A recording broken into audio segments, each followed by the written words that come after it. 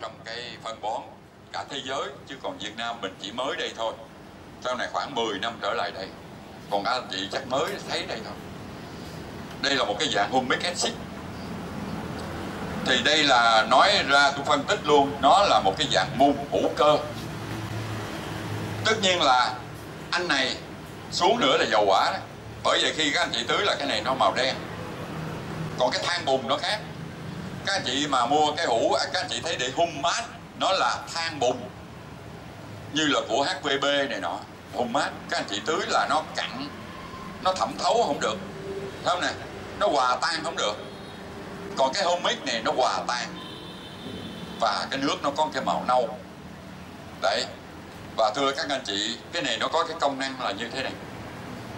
Cái mùn hữu cơ này thì nó trầm tích cả trăm năm, cả triệu năm ở dưới lòng đất mà trước khi người ta lấy dầu hỏa lên thì nó trước, đi trên trước.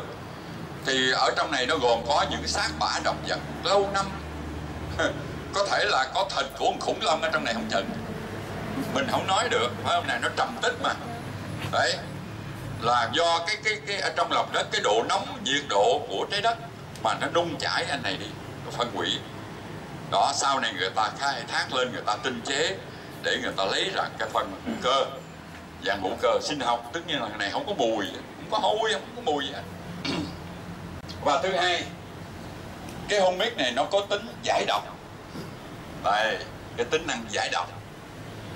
Ngoài cái à, tính năng phân bón của nó. Thì à, cái thành phần ở trong này, thưa các anh chị, nó hàng trăm, hàng ngàn chất khoáng nằm ở trong này. Mà trong phân hóa học không có trong phân hóa học chỉ có mười mấy thứ thôi.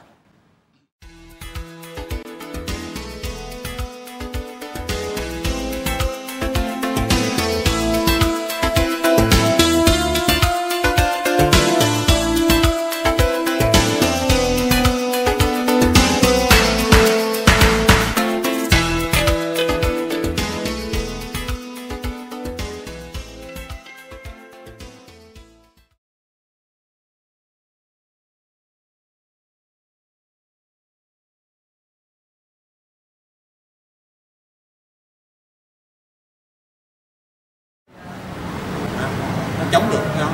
Tại có cái này nó tạo cái kẽm ở trên cái lá rồi. Mua trái bưởi axit gì xuống. Cầm cái áo giáp kẽm bảo vệ. Nên cái lười lắp tưới cái này không cũng rất là tốt. Mà đi than này có mấy cái này vô chẩm được không? Đi than nó có chất mấy này rồi không? Em dạ đi than là nói chính hai cái này luôn à, đi than này. Nó ghi rõ luôn nè ờ. Ghi hai chất luôn bổ sung hai cái đó luôn bổ rộng luôn. Em mà biết nó chỉ mấy trăm loại mà nó bệnh luôn á nó ngừa mấy trăm loại nó bệnh chứ. Nó ngừa là chính một cây lan nó thẩm thấu vô thân nó và nó đẩy cái bệnh từ ở trong đẩy ra. Còn cái hổ rộng á là nó nó phủ bên ngoài nó trị từ bên ngoài trị vào.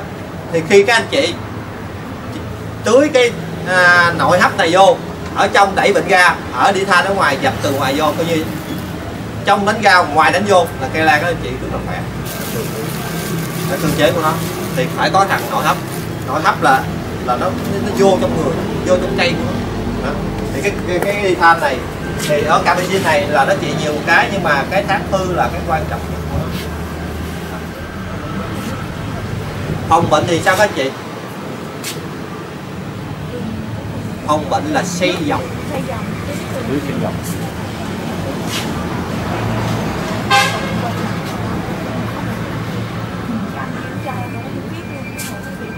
phòng bệnh là phải đủ chất cho cây, thì cây nó mới ngừa bệnh. Thành ra là phòng bệnh bắt buộc phải là xây dòng. Còn trị bệnh là một cái mà quất ba lần liên tục. Cái đó là cái bí quyết. Của mình. bí quyết để chị trồng lan nên bây giờ cái lan mà chưa có bệnh gì hết, mình phải phòng bệnh đó.